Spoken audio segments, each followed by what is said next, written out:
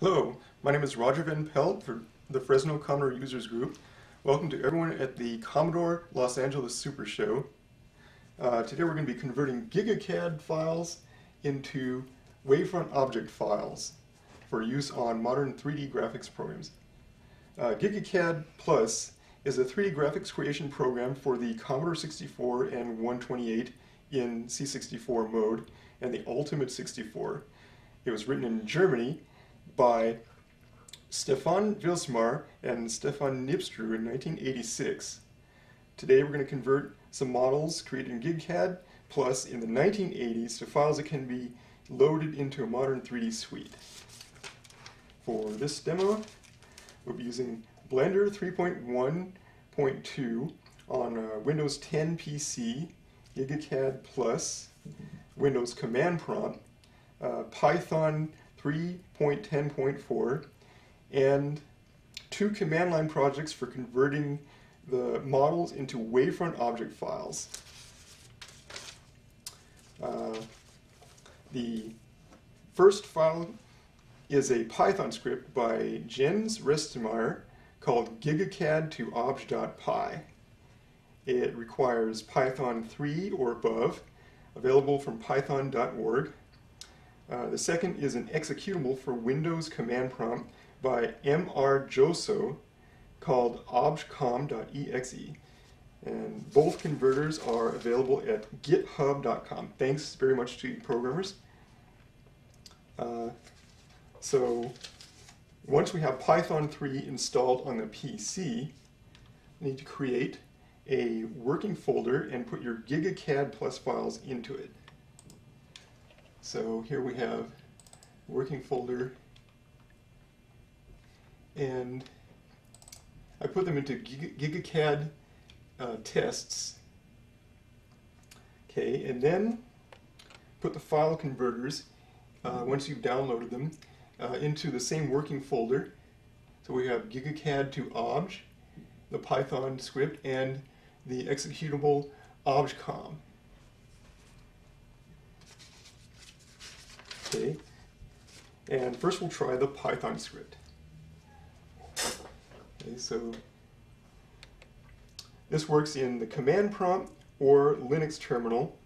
The commands are the same. Open the command prompt and navigate to your working folder.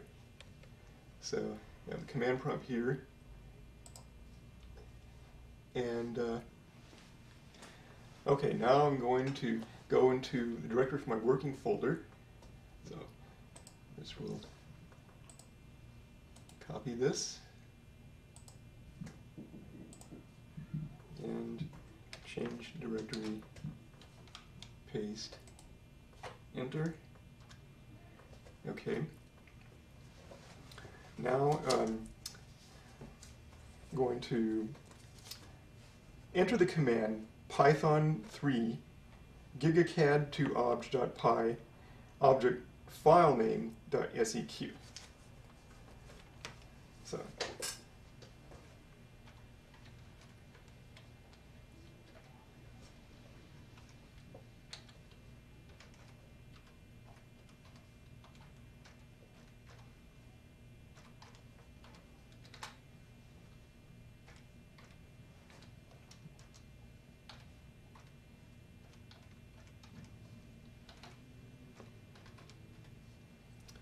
Okay, enter. And there should be a new file now in the working folder. And we have shift.obj. So now we're going to open this in Blender.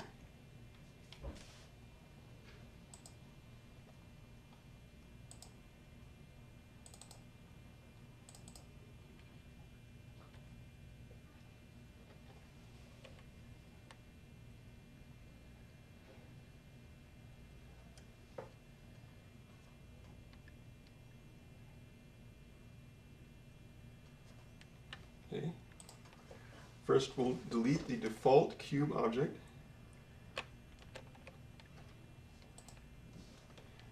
Then go to File, Import, Wavefront, OBJ, navigate to your working folder.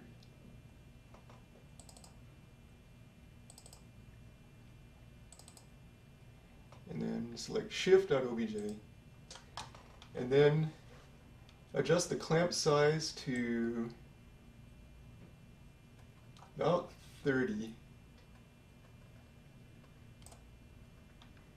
and let's change up to negative z and that'll account for the differences in orientation and scaling between the two applications. Import the object. Okay, and there's our ship. And uh, so we can view it from the camera's perspective rotate it around and look at it. We can now edit this, modify it, um, animate it, or convert it into other file formats. Let's see, orthographic or perspective.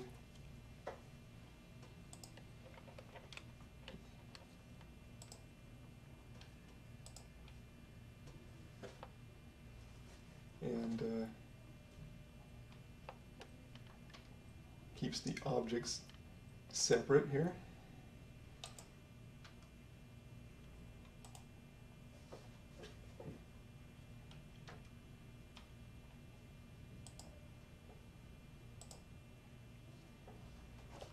You can edit the individual vertexes.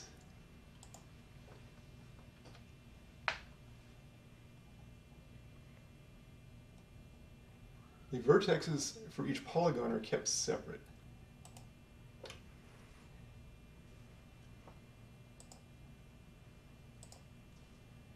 Let's see.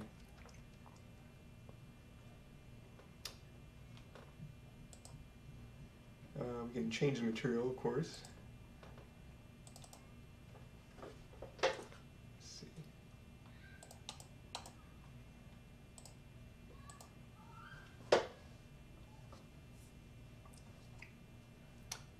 and uh, let's try a render.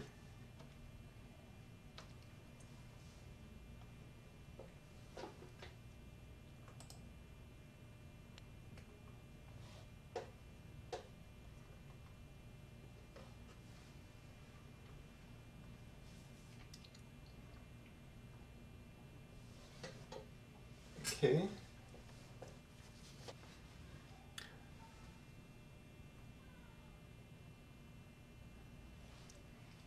Okay, now we can see what the render looks like in the original GigaCAD version and what the Blender version looks like rendered. And uh, see, so we'll close this. Okay, now let's have a look at it in the 3D view in Blender. We can compare the two models here.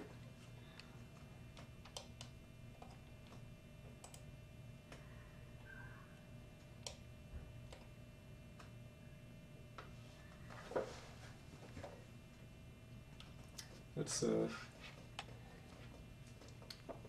go ahead and render it.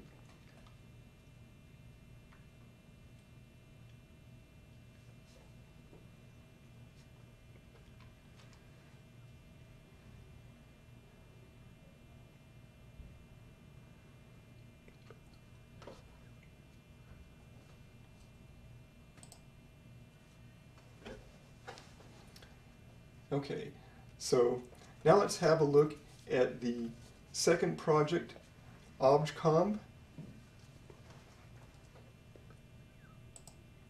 We go New, General, don't save, and delete the cube. Okay, let's minimize this for now. Okay, so we're already uh, in the working folder and we need to enter the command obj conv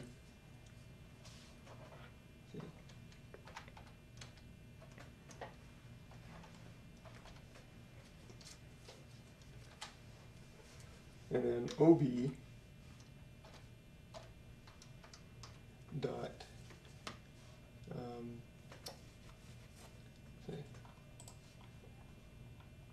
check something here.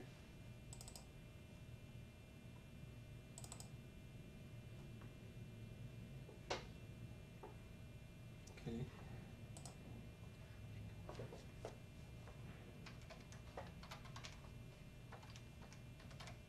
enterprise.seq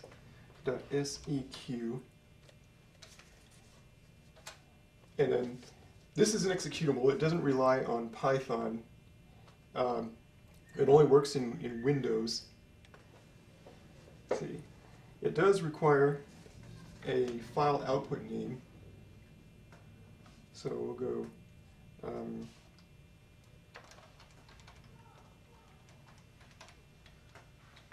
enterprise at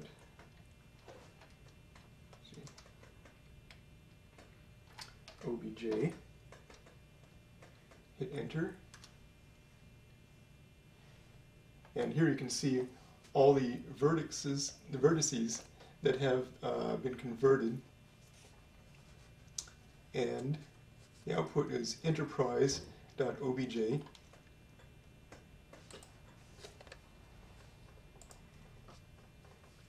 Go into Blender, import wavefront.obj, navigate to the working folder,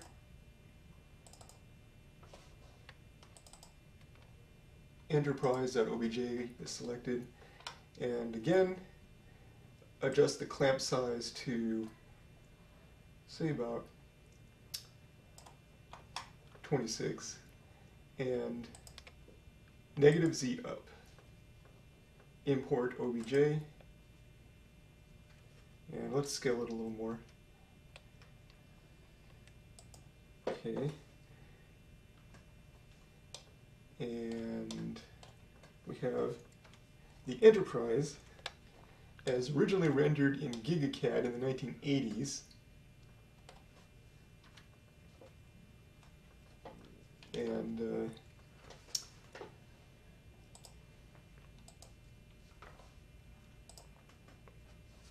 course, you can modify it however you need to. And now this can be exported if you want to um, any of these file formats, including .stl if you wanted to um, make it 3D printable. Okay. Okay, so here is the Enterprise unrendered in wireframe mode in GigaCAD and uh, in Blender in the 3D view. Again, we can compare them.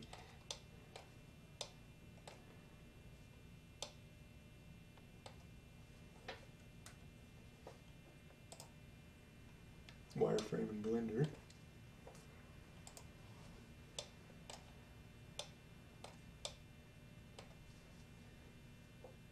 and uh, pretty simple model, but um, it was um, quite a feat to model something like this on the C64 back in the 80s. And then now I have something else to show you that uh, you can do with these objects once they've been converted to a .stl. So We'll go ahead and close this out.